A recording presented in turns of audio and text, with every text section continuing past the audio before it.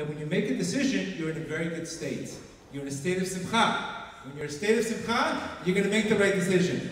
When you're not in a state of simcha, you're not getting, you're not going to make the right decision. So it's very important. Let's talk about being brokenhearted versus being depressed. Rav Nachman said in lesson 23 and 24 in the second half of the Moharan. It's okay to be brokenhearted, but not okay to be depressed. A broken heart says, I'm lacking Hashem. I need you. I'm struggling. I'm broken. This is Breslov 101.